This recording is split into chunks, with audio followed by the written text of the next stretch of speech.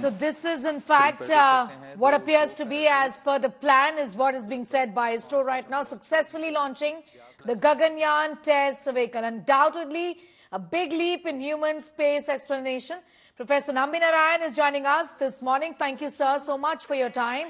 Uh, this is great news uh, with the initial a bit of a dampener a while ago. So now we have in fact a confirmation that the test uh, vehicle launch has been successful. So your thoughts?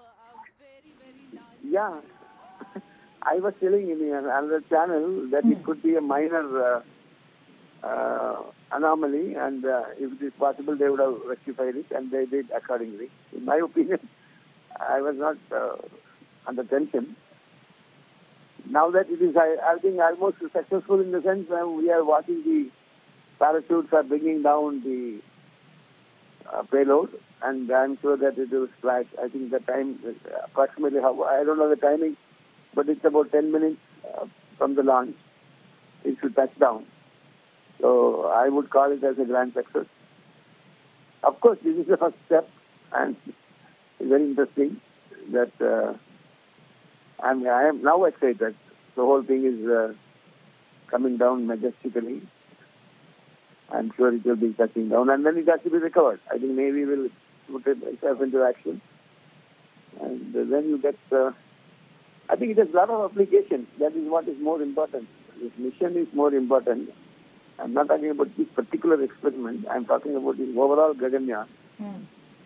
Has a lot of applications and uh, uh, it has a lot of advantages in the, the sense that it is better that we become mastered over the whole thing.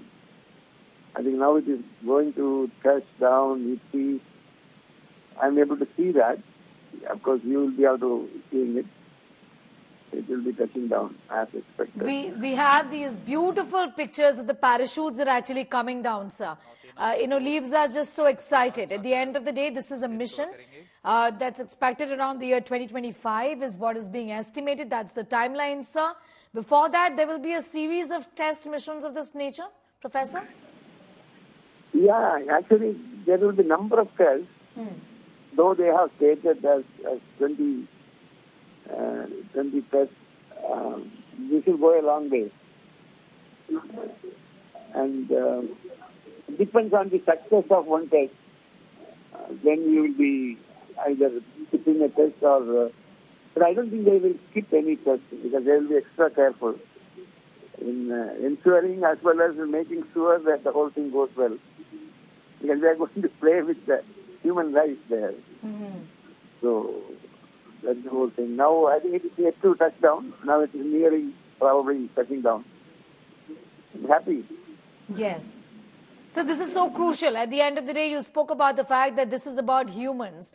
And there can be absolutely no room, nil room really for error, isn't it? yeah, space flight is always, uh, you know, you, you have some kind of a thing which is unknown. After all, space itself is unknown. So you are dealing with uh, the unknown element.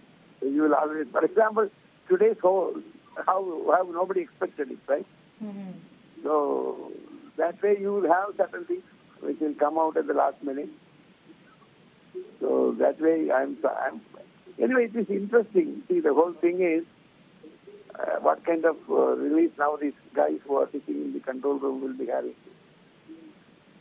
So Yes. this is the first test of its kind. Which are the other kind of tests, sir, that will be expected? Talk to us a little about that as well. What to expect in the next few weeks and months to come, sir? No, no, this is the escape uh, module in case Yes. of any mishap. If the fellows are in trouble and if the fellows are uh, interested in coming back quickly, this is what uh, this is most important. You know, the escape module should be most important. It must have so many systems inside. Uh, number of parameters, which I'm sure that this particular module, this particular uh, escape module, must have been wired with, I don't know, maybe about 200, 300 parameters being monitored. Uh, everything is a redundant parameter because they, they don't want to take any chance with that. And uh, they want to understand how things will behave in a, in a condition like this. And of course, the vehicle is not the one which carried this one is a Vikas engine. Of course, I'm happy about it. The Vikas engine is nothing other than the L40, L40 version. It has some two, three different variations. They have picked up one such thing because of the reduced payload and uh, and then uh, reduced height. So I think um, that engine has never failed. So when we were worried about uh, the hole, everybody was suspecting, oh, it didn't ignite. It, it was not his fault.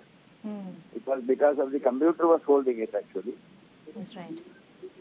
So anyway, I'm. I think the mission is almost you can call it as a successful mission. Yes. Uh, there's nothing and nothing else. Yeah, of course, there is one, one more thing when it touches down, the Navy has to go and uh, pick it up. True. Okay.